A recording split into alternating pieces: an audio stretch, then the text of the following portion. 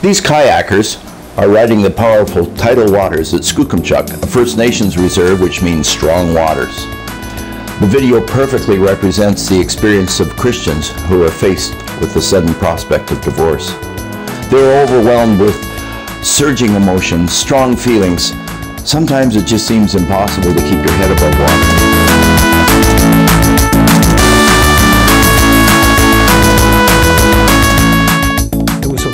Dark time, a very dark time. Uh, uh, I was in a place that, that, that scared me, that, that made me fearful. And at that time, I didn't think anybody would be happy to see me. I was in so full of shame. And uh, I I came to a point that I was so angry with God that I was ready to just throw my faith away.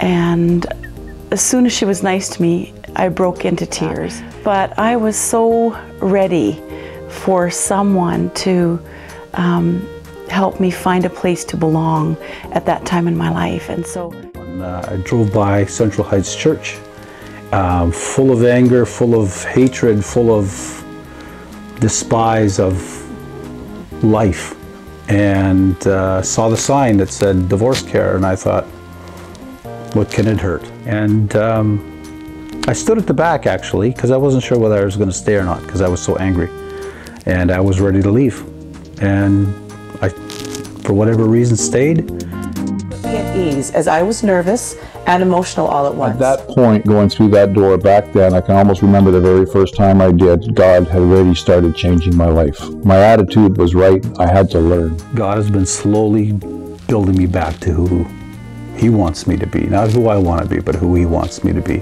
And I just have to let Him. through let him. those times, I started to look forward to coming. I started to to learn the mistakes I'd made, uh, how I could become a better person, the relationship with him, I could make it stronger. The more relationship I had with him, the more I heard him talk to me. It was just a wonderful experience, and I felt all one again, like I did when I first became a Christian. really i really learned a lot about myself and a lot to be more christ-like I have more confidence.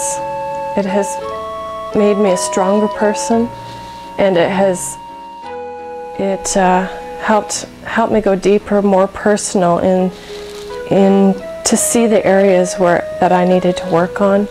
But you're forced to look at yourself and to acknowledge what your part in the breakdown of your marriage. People in my group were open and they were hurting. The uh, stories were similar, but the hurt was all the same. It was like Um, I'm not alone. Tranquility beside me, and mostly I found God there um, through His presence personally, but through His presence with so many other people that were walking my walk. Uh, being able to share in a safe and healthy environment helps you helps you heal. DivorceCare helped give me the biblical perspective that I need. as it says in jeremiah 29 11 that he's definitely in charge you actually um, are held up to the light, and so reading the scriptures and seeing God's view on the subject. And I'm glad it was biblically based because I found my love again. I found my Father. I found God. And I learned how much God truly loved me and how Even though I've gone through a divorce and I've gone through basically hell on earth, God still loves me.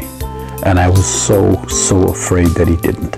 Um, he took me from despair, from emptiness, and, uh, and slowly filled me. and i also realized that god is indeed in charge of my life but it also allows you to meet with God in a real way. And God has truly changed my life, but I had to let it happen. It all brought more peace into my life. I have more confidence, made me a stronger person. and God has the answers. He wants to help His people. He wants us to go to Him. And God has allowed me now to use my circumstances to help other people.